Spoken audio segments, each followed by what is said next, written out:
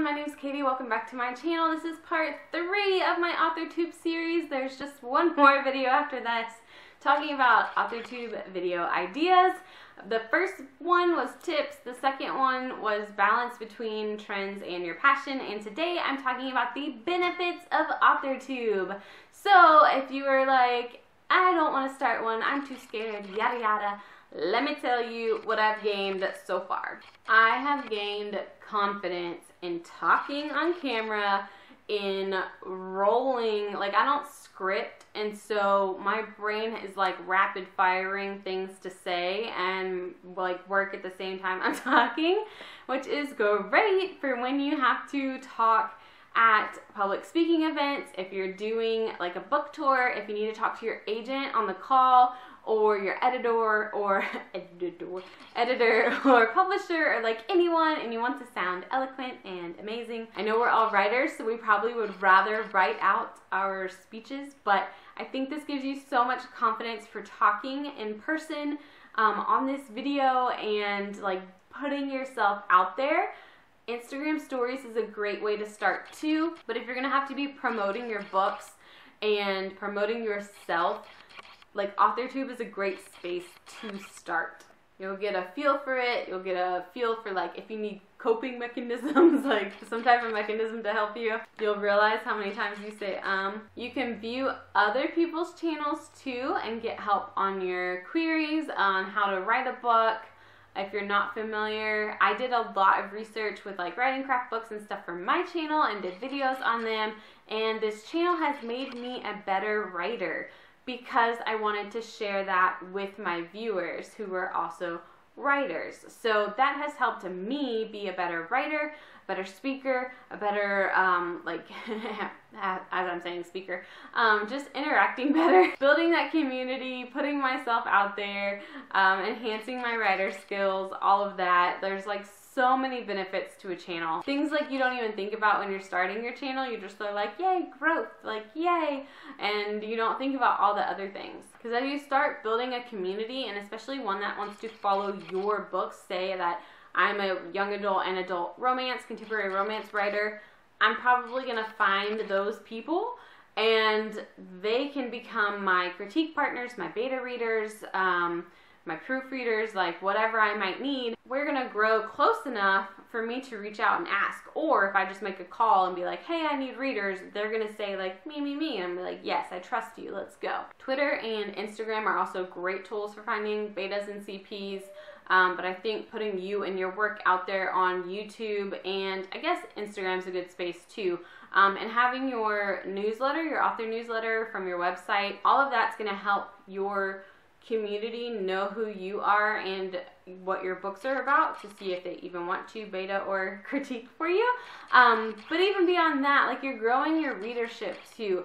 And I know like a lot of your subscribers and viewers are going to be other writers. That's kind of just how it works. But writers are also readers, so they also are going to want to read your work. Eventually, you'll kind of need to like do this. I love how I was like words, and then I'm like, what are words?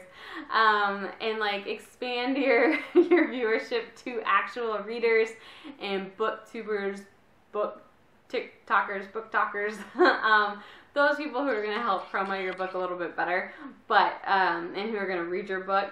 But for right now, don't worry about that. You're just starting out. Another great thing about starting an AuthorTube channel is for the accountability because like I said in the last video, if you're on here talking about a project and like a year later you're still talking about that project, that's accountability. You're going to be like, maybe I should finish this book. Or like, where am I at in the stage of this book? Maybe I should be working on another book. Maybe these viewers are tired of hearing about so-and-so in this book. And they're like, why aren't you published yet?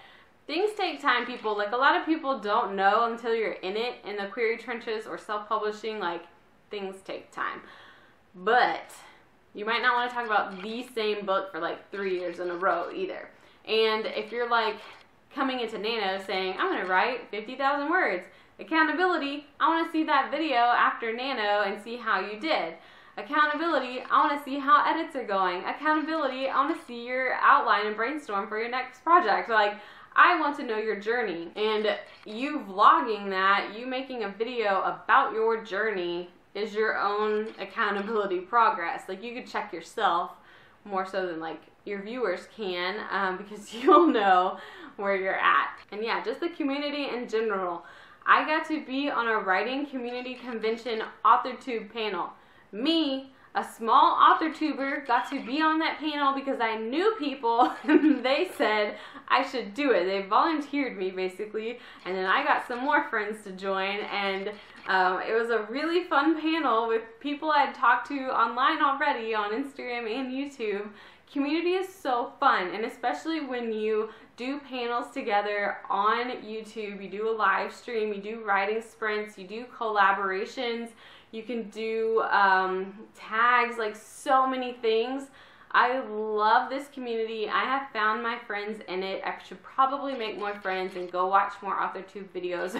but um, when you're just starting out, like that's very important to make those tight friendships and be able to make videos together, support each other. You can be each other's buddies for liking, commenting, um, sharing, all of that jazz. Like, make friends and help each other out. Um, being, a lot of us as writers are introverts, and this kind of makes you be more extroverted, where you have to reach out to other people and basically be like, hey, I like you and your writing. Can you be my friend? Like, I want to hang out with you online. like, um, it's even cooler if they live near you and you can meet in person. But I think that's so cool in this digital age that you can like make friends with people through a computer and it's like you know them and they live um, countries away, states away. And yeah, I just, it's so, there's so many benefits to AuthorTube. If you are considering it, if you are like, I'm not really sure, just dip your toe in and see how it goes. And especially if you already have writer friends, if you already have AuthorTube friends, they're gonna support you. You are not alone. If you are alone, if you think you are alone, comment on this video and I will go support you myself and watch your videos and subscribe. Um, I definitely know that feeling in the very beginning when you're like, nobody cares, I am talking to nobody, but eventually you will get found, your count will go up, and like I think I had one writer friend at the time who was helping me, and then I met some more people later that year, uh, just like a, a month or two later, started connecting with them and it just kept expanding. So just like it's really cool like when you're a ways out to look back and see where you started or like how you've grown or who you've grown with like so many benefits. Like I would not be talking to half the people that I do now without AuthorTube. I would not be the writer I am without AuthorTube. I would not be able to just spitball word vomit if not for YouTube. and yeah, like a personal story, I literally went to author Brittany Wang's messages on Instagram. She had like asked when she was getting her um, Instagram challenge going like years ago um, for me to be a part of it. And I was just like, yeah, I don't know what's happening. I don't know anybody. Like, ah, I don't even know you. Like, what's going on? And then like later, I was like, oh my gosh, I like literally know nobody. What is happening? Like Brittany reached out to me. What am I doing? I like her. She seems cool. So I reached out through her a message and I was like, hi, can you tell me all about yourself? Can we be best friends? And it was like that total like stepbrothers moment. Like, did we just become best friends? Yep. Um, but yeah, like don't be afraid to put yourself out there. Growing your community on Instagram, Twitter, um, YouTube is just really fun. Getting in this community is fun. You can see other people's struggles, other people's highlights.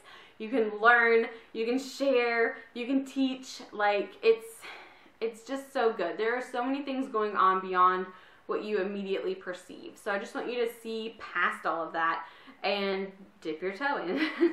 I think that's all I have for today for benefits, but um, let me know if y'all have any questions or fears that you want me to talk out or anything like that. Next week's video is about topic ideas and all of this is coming out to where you should be able to like squeeze them in by the end of before the end of November. So good luck. If you are starting your channel this month good luck.